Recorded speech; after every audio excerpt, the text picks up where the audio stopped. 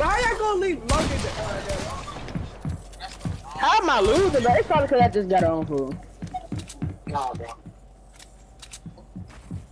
That's not a valid excuse in this Oh situation. god. Oh god, that's what I'm saying. Damn, he said that's not a valid excuse. Damn, what the fuck? Oh, Yeah. This nigga kill everybody in the lobby for us. Go